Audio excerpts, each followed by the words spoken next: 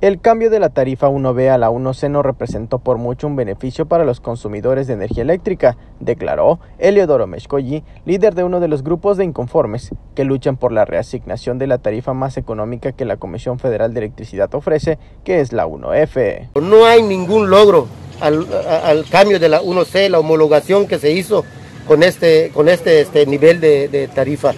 Lo que nosotros este, seguimos luchando es la tarifa F1 y no vamos a hacer bajar la guardia. Recordó que personalmente entregó al presidente de la República documentos sobre las anomalías.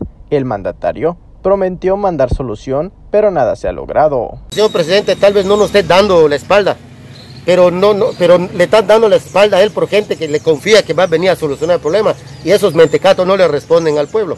Acotó que la lucha contra los abusos se mantendrán firmes y cada uno de los objetivos inmediatos es evitar que a los usuarios se les corte el servicio por falta de pago, ya que aún existen casos de facturación anómalas por todavía resolver. Para Canal 10 informó Juan Ojeda.